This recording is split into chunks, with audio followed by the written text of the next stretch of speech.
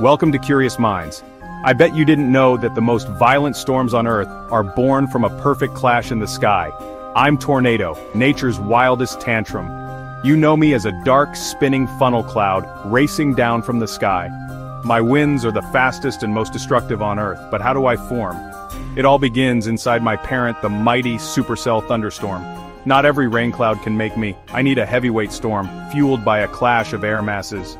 Warm, moist air from the Gulf of Mexico rises, while cold, dry air from the Rockies or Canada sinks. When these two meet, the atmosphere turns unstable, perfect for my creation. The warm air rockets upward, carrying energy and moisture, building a towering cloud miles high. This powerful updraft is the storm's engine, feeding and organizing the supercell. Inside, everything churns. The supercell becomes a self-sustaining weather machine, lasting for hours and spawning wild weather. But its most fearsome creation is me. The stage is set, energy is building and the sky holds its breath. Soon the chaos will take shape. I am the storm's ultimate expression. My birth is dramatic and my arrival is unforgettable. The countdown to my formation has begun.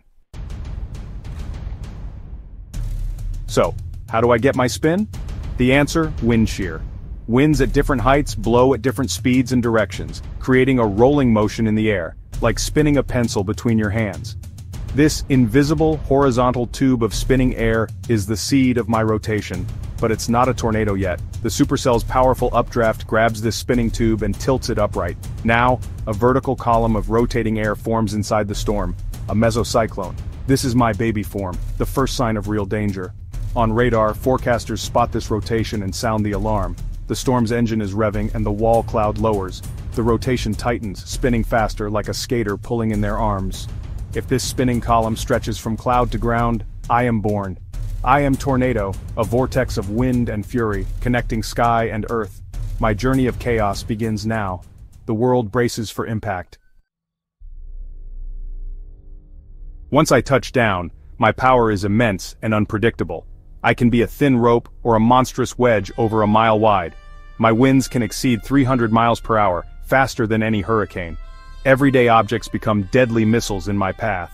Scientists measure my strength with the enhanced Fujita scale from EF0 to EF5. An EF0 snaps branches, an EF5 erases entire homes and even strips pavement from roads. The EF scale is based on the damage I leave behind. My lifespan can be seconds or hours and I can carve a path over 100 miles long. My roar is unforgettable like a freight train or jet engine. I flatten communities in minutes, leaving scars on land and lives. Scientists use Doppler radar and satellites to track me, but predicting my exact path is still a challenge. Storm chasers risk everything to study me up close. Despite all the technology, I remain unpredictable. I am one of weather's greatest mysteries. My destructive dance is both feared and studied. I can appear almost anywhere, but my favorite playground is Tornado Alley in the central United States. Here, warm Gulf air collides with cold Rocky Mountain air, creating perfect conditions for supercells. Dixie Alley in the southeast is another hotspot, but I'm not just an American phenomenon.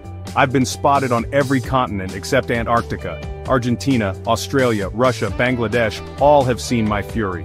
Wherever instability, moisture, and wind shear meet, I can form.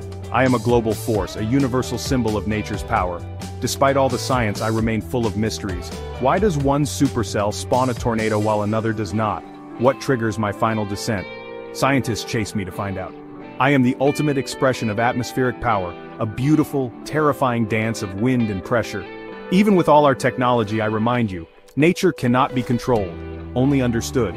I am Tornado, and my story is far from over. If you liked this video, please like and subscribe to Curious Minds for more fascinating content.